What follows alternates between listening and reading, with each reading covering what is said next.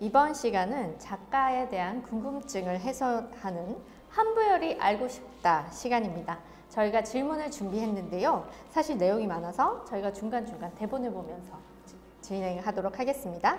어머니 어떤 내용들이죠?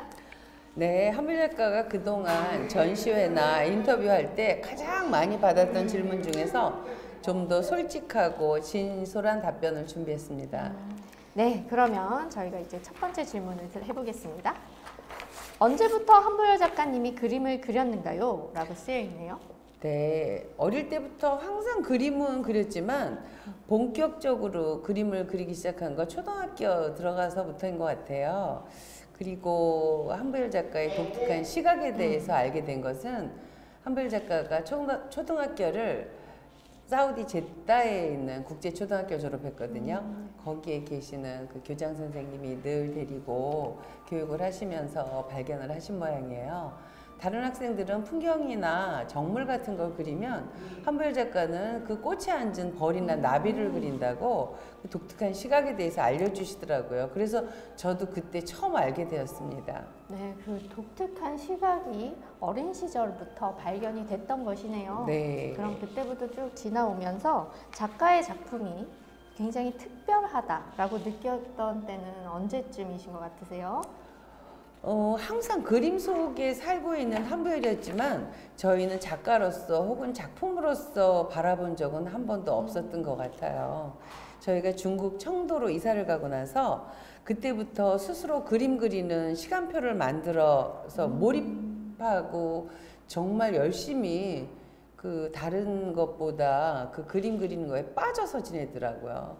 정말 그 은둔의 시간이라고 할 정도로 그런 긴 시간이 11년이라는 오. 시간이 지나게 됐어요. 네, 그 11년의 시간 동안 청도에서 네. 작가님이 스스로 스케줄을 만들어서 계획한 다음에 그거를 실행을 해왔다는 말씀이신 거죠? 네, 맞습니다. 작가로서 어쩌면 가장 기본이 되는 좋은 습관을 그때 만드신 게 아닌가 정말 중요하고 귀한 시간을 보내신 것 같습니다. 네. 그 증표로 한별 작가 이렇게 엄지를 보면요.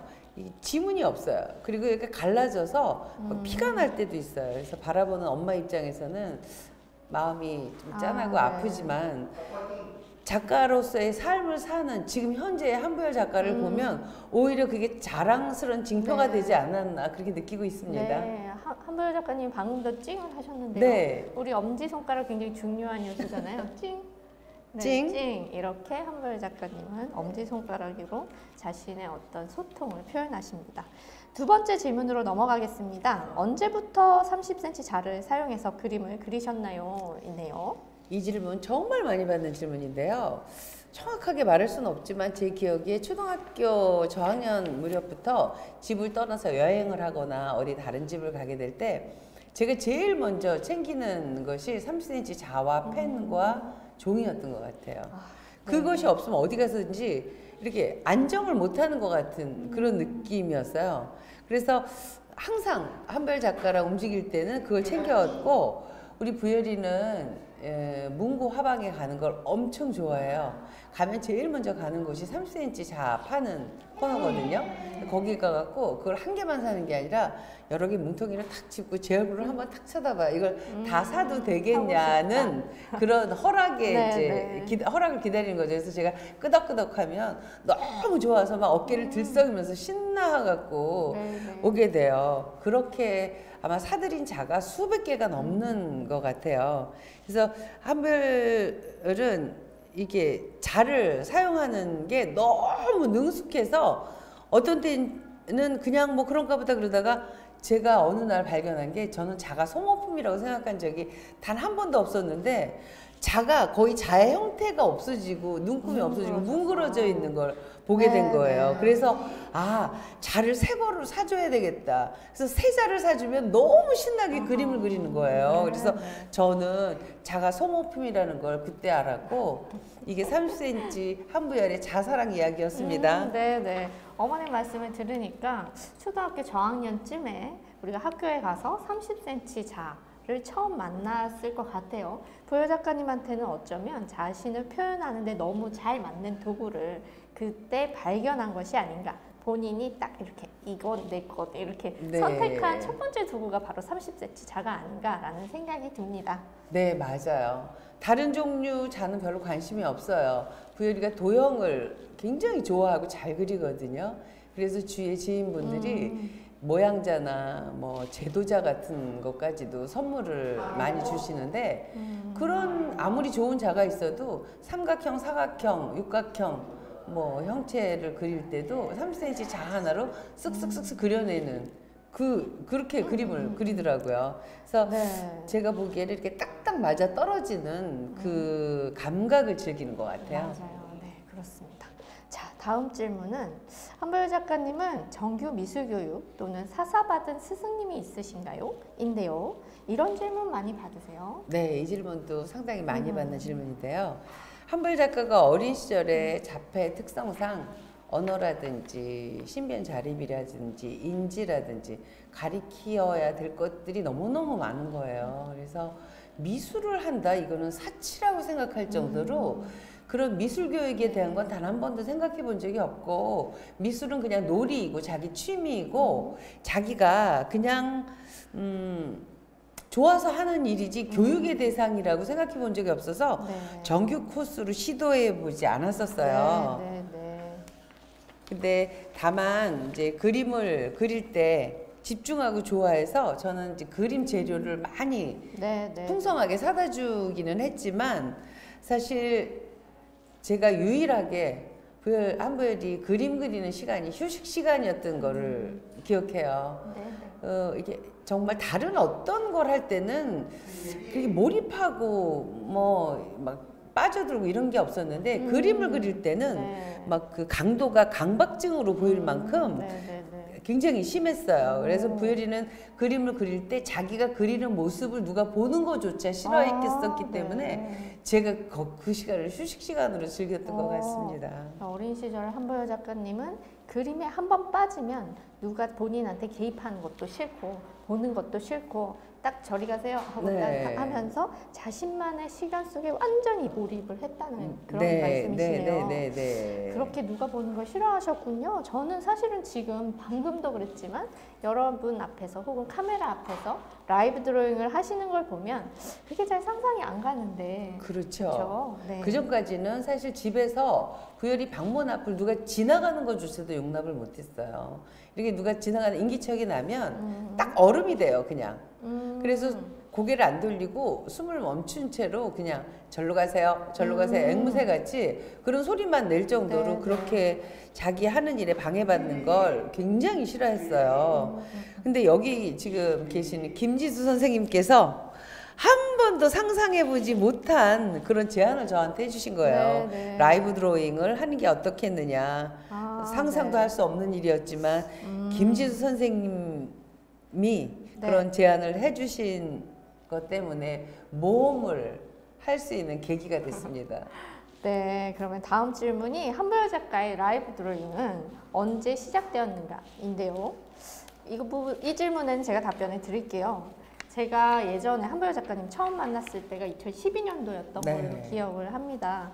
그 한보여 작가님 처음 만났을 때 이제 30cm 자나 이제 볼펜, 펜 혹은 저희가 뭐 여러 가지 펜들은 드렸지만 그 간단한 도구를 이용해서 딱 책상을 가지런히 정돈하고 화판을 놓고 그림을 그릴 때 어떤 하나의 의식을 치르듯이 굉장히 에너지를 뿜어내면서 하나의 퍼포먼스처럼 드로잉을 신나게 정말 하셨거든요. 그래서 그 결과물도 진짜 훌륭하지만 그 과정을 많은 사람들하고 나누면 좋겠다 이런 생각이 들어서 당시 어머님께 예, 제안을 드렸었어요. 그 말조차도 너무 생소한 데다가 걱정이 너무 많이 돼갖고 네. 잠을 못 잘 정도였어요. 그래서 아이고. 이건 도저히 안 되는 이거 아, 일이다 싶어서 제가 선생님 이거는 자신이 없어요. 도저히 안 될 것 같아요. 그랬더니 음. 그때 김지 선생님 명언이 나왔습니다. 말씀하시기를 그림 그리다가 뛰쳐나간다가 누가 잡아가지 그렇죠. 않습니다. 그러시는 네. 거예요. 그래서 그 말에 사실은 용기를 내서 한번 시도는 해보자. 그렇게 해서 시도를 했는데 저는 정말 그날을 잊을 수가 없어요. 평생 아마 한부열 작가가 이 틀을 깨고 나온 첫 번째 그 음. 어떤 사건이라고 저는 생각해요. 네. 자기는 몰입해서 막 그림을 열심히 그렸는데 다 끝나고 났더니 여기저기서 박수 소리가 막 나오는 걸 보고 음. 고개를 들어보니까 사람들 앞에서 그림을 그리고 있었다는 인식을 그때 처음 한 거예요 본인도. 네, 네. 그 자기도 모르게 본인의 그 트레이드 마크 아까도 얘기했지만 음. 찡 너랑 나랑 통한다는 이걸 자기가 손을 내밀면서 사람들을 찾아가면서 이 찡을 먼저 하는 거예요. 음. 그러니까 본인도 굉장히 그게 흡족했던 그런 현장이었을 거예요. 그래서 그때 이후부터는 오히려 이런 퍼포먼스 하는 걸 굉장히 즐겨요. 음. 그래서 그렇게 할 때 그 표정을 보면 아 천상의 미소가 바로 저런 거 아니겠는가. 음. 막 거기에 빠져들어가서 그 순수, 순수한 네. 아주 정말 아주 그 행복, 행복 자체, 자체 그 웃음이 보여질 때는 보는 사람을 참 기쁘게 하는 그런 미소인 것 같습니다. 네, 맞습니다. 저도 그때 당시 상황이 기억이 나는데요. 사실 저는 부여 작가님이 그렇게 어머님 말씀대로 이렇게 사람들을 싫어하고 보는 앞에서 그림을 못 그릴 거라고 생각을 했다면 저 역시 기획을 못 했겠죠. 어, 근데 네, 부여 씨도 뭔가 하고 싶은 말씀이 있으신 것 같아요. 네, 근데- 자꾸 소리를 내네요. 네네. 근데 저는 사실은 그것은 사실 생각하지 못했고 어머님과 부여 작가님을 봤을 때 한부열은 충분히 너무나도 완성된 그림을 그냥 부- 그리기 때문에 그 과정 자체만 플레이 된다면 정말 문제될 게 하나도 없다 이런 세- 확신이 좀 있었고요. 그랬군요. 네 그리고 이제 한부열 작가님이 저도 너무 감격적이었던 게 처음 만난 그쪽 관계자분들하고도 스스럼 없이 띵 하고 네. 또 그려달라고 어떤 제안을 받았을 때 또 동시에 그거를 즉석에서 그려낸 적도 있었고요. 그래서 정말 저도에게도 그 진짜 그 순간은 굉장히 뿌듯하고 감동적인 순간이었던 것 같습니다. 제가 도움이 되었다니 저도 너무 기쁘고 뿌듯하다고 생각하고요. 자, 그러면 다음 질문으로 들어가겠습니다. 네. 이건 감독님 개인 질문인데요. 라이브 드로잉, 비대면 전시와 같은 새로운 장르에 대한 앞으로의 도전과 활동 계획을 질문하고 있으시네요. 아우 이런 데 대한 거부감 있지요. 많았지요. 아, 네. 아까도 말씀드렸지만 라이브 드로잉은 이 김지우 선생님이 안 계셨다면 시도조차 못했을 거예요. 제가 어딜 가면 꼭 하는 얘기인데요. 멘탈리스트 작가들이 상황에 따라 변수가 상당히 많아요. 음, 근데 이런 비대면 전시도 여러 사람들의 도움이 없다면 도저히 진행될 수가 없죠. 특히 서로 믿고 의지하고 이렇게 할 수 있는 동료들을 만나고 이 그런 데 대한 두려움이나 거부감이 없어지는 게 본인이 아, 저 사람들은 나를 도와주는 사람이야. 우리가 이렇게 같이 하고 있어라는 걸 스스로 느끼는 거거든요. 그래서 네, 네. 새로운 모험으로 이어나갈 수 있는 것 같아요. 네, 저도 동감입니다. 우리는 동료이자 크루죠. 하나의 한부열과 이제 같이 작업하는 협력, 동료, 동료가 되는 거고요. 그 모든 동료들이 자신의 자리에서 그 역할을 해낼 때 굉장히 좋은 어, 프로젝트가 성사가 되는 것이고 삶에 대한 다양한 관점들을 서로 서로 넓혀주고 넓혀가는 그래서 함께 나갈 수 있는 것이 아닌가라고 생각이 듭니다. 그러면 이어서 앞으로의 활동 계획은 어떠신지 얘기해 주시겠어요? 네, 솔직히 아주 큰 두 가지 생각을 갖고 있는데요. 첫 번째는 한부열 작가 개인으로서 세계를 넓히기 위해서 작가 작업실 겸 갤러리 음. 공간을 곧 오픈할 계획에 있어요. 두 번째는 한부열 작가가 발달장애 작가들 중에서 나이가 가장 많다 보니까 후배 작가들 모델이 되는 경우가 종종 생기더라고요. 네. 그러니까 그러다 보니까 스스로 책임감 같은 것이 생기는 것 같아요. 그 새로운 모험을 두려워할 겨를 없이 지금 여기 이런 장르나 또 새로운 장르에 더욱 더 이렇게 도전하고 싶은 그런 욕심이 어, 생기기도 합니다. 네네. 그렇다면 이제 한부열이라는 이름을 건 갤러리가 생기는 것이네요. 네, 맞습니다. 자폐성 발달장애 자녀를 둔 부모님들이라면 많이 공감을 하실 것 같아요. 그 자식의 나이가 부모의 나이고 부모의 나이가 자식의 나이가 될 수밖에 없는 상황으로 계속 일체가 돼서 살아오거든요. 그러니까 자식의 나이가 아직은 어리지만 부모 나이를 기준으로 보면 뭔가를 미리 준비해야 되겠다는 아, 그런 생각을 많이들 하실 거예요. 저 역시 그런 생각을 하게 돼서 제가 이 세상에 없을 때 음. 우리 한부열 작가가 어, 엄마 없는 세상에 그래 그나마 가장 행복하게 살 수 있는 방법이 무엇일까를 네. 생각해 보니까 역시 한부열 작가한테는 그림밖에 없다. 음, 그러면 네. 그림을 그릴 수 있는 여건을 만들어 줘야 되겠다 그런 생각을 하게 됐어요. 그래서 음, 부지런히 이제 먼저 생각하고 실천에 옮긴 거죠. 네, 네. 부모 없이도 그림 속에서 행복한 삶을 살게 해주고픈 엄마의 마음입니다. 네, 맞습니다. 그렇네요. 이거는 단지 어떤 그림을 좋아하는 사람의 꿈, 꿈을 이루기, 이루는 아주 중요한 그런 실현에 관한 것이기도 하지만 발달장애 예술가가 가진 현실적인 문제를 해결하기 위한 중요한 부분인 것 같습니다. 네. 공간이 기반이 돼서 평생을 이제 일상생활과 함께 지낼 그런 공간을 준비하고 계신 거죠. 네. 네. 어찌 보면 진짜 어머니 진짜 많이 고생하시고 어려움이 많으셨을 것 같아요. 어쨌든 이런 갤러리 만든 거 정말 큰 도전이었던 것 같습니다. 네, 오랫동안 많은 고민을 했었고 드디어 현실화 단계에서 있다 보니 참 만감이 교차하기도 합니다. 네. 그렇다고 이것이 저희한테 새로운 도전이라고 말하기는 어렵고요. 지금 하고 있는 이런 비대면 전시처럼 정말 다른 장르와 만나고 시대의 흐름에 몸을 맡겨서 진행되는 많은 일들을 계속하는 저희가 발전하는 일이라고 생각합니다. 네, 어쨌든 어머님의 추진력은 정말 감탄할 수밖에 없습니다. 저희가 이렇게 갤러리도 그렇고 이런 새로운 도전도 그렇고 계속해서 만나고 시도하고 그렇게 해서 지속 가능한 새로운 분야를 만들어가는 것이 중요한 일인 것 같습니다.